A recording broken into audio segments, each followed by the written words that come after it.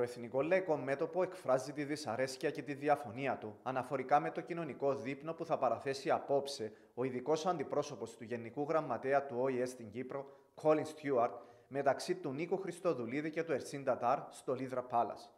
Ο πρόεδρος της Δημοκρατίας, με δεδομένες τις προκλήσεις που έχουν καταγραφεί το τελευταίο διάστημα στην περίκλειστη Αμόχωστο, τη Δερίνια, την Πύλα, τον Άγιο Δομέτιο, την Κυπριακή ΑΟΣ, αλλά και για ακόμη 1619 λόγους που πεισματικά δεν δίνουν απαντήσεις, θα έπρεπε να αρνηθεί. Να δείξουμε στον ηγέτη της κατοχής ότι οι επεκτατικές τους ενέργειες δεν είναι αποδεκτές και στον κύριο Στιούαρτ ότι δεν ανεχόμαστε άλλο τις ίσες αποστάσεις και τις φυσιολογικές δυσκολίες.